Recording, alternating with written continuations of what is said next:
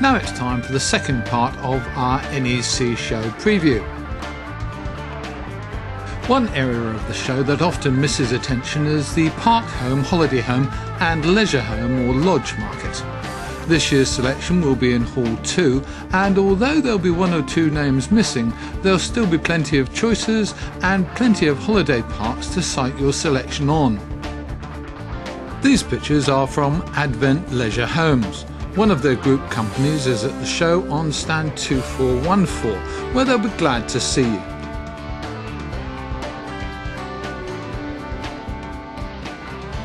On stand 3085 you'll find Marquis Motorhomes, who are celebrating the launch of their revamped website and their new three-year unlimited mileage warranty on used motorhomes.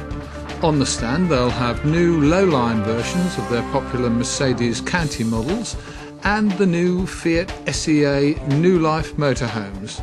And these good-looking vehicles also have some interesting offers available.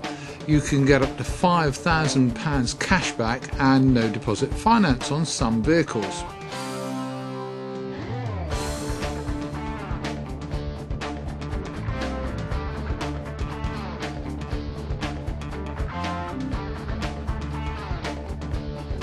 The Explorer Group look like they're in for a good show on their caravan stand in Hall 5 with this brand new Explore Electric.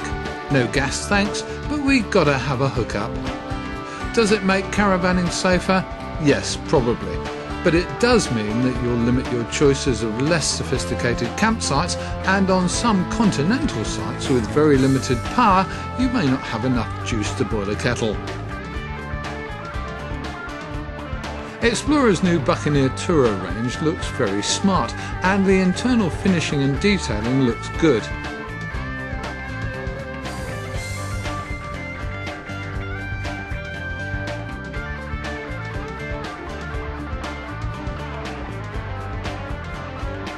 I do rather like the fact that Explorer's latest pictures look a bit more like a real life working family caravan and if the lady cooking dinner here would like to invite us round we'd be glad to go.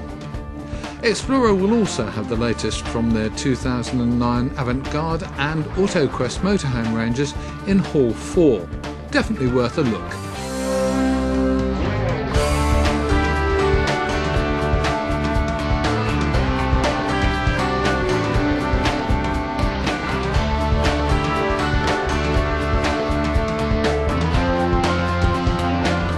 Finally, a new offering from Geist Direct, the LMC 590.